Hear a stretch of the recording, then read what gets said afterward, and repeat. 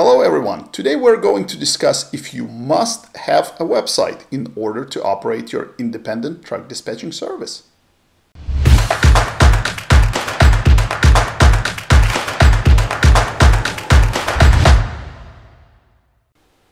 So to go ahead and answer your question, no, you are not required to have a website to operate your independent truck dispatching service.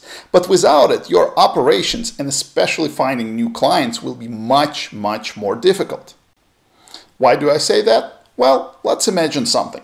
You will be operating more than likely from your home or maybe your home office or maybe some office space that you rent, but you will not be necessarily directly exposed to truckers or motor carriers.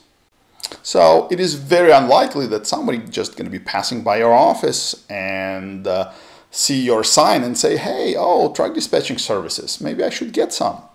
As you can imagine, this probably will not happen. So how would people find you?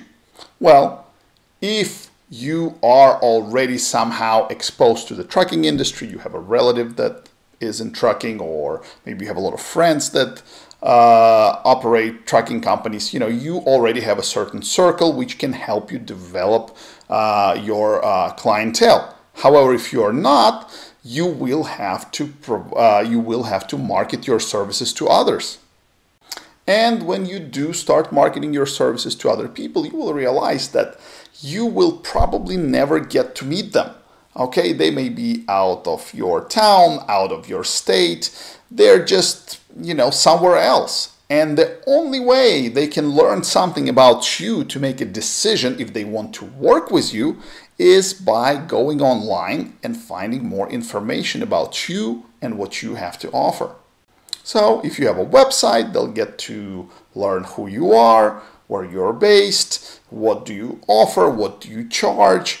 They get all this information. And if you don't have a website, they don't know anything. And if they don't know anything about you, do you think they will want to work with you and pay you money? Now, don't get me wrong.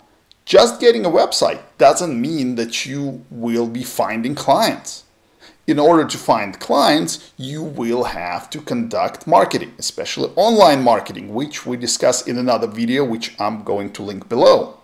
However, if you don't have a website, then conducting online marketing will be even more difficult, which will translate into even more difficulty finding new clients.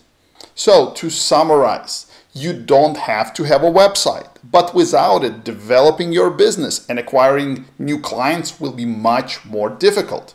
And let's remember that getting a website today is very easy. You can do it yourself or you can hire someone to do it for you. It is not really that expensive.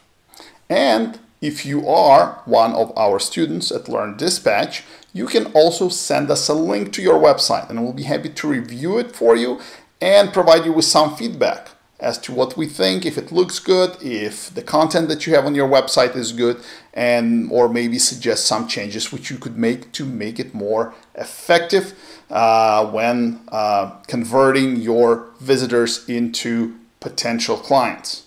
And with all that being said, we are going to wrap up this video and I will see you next time.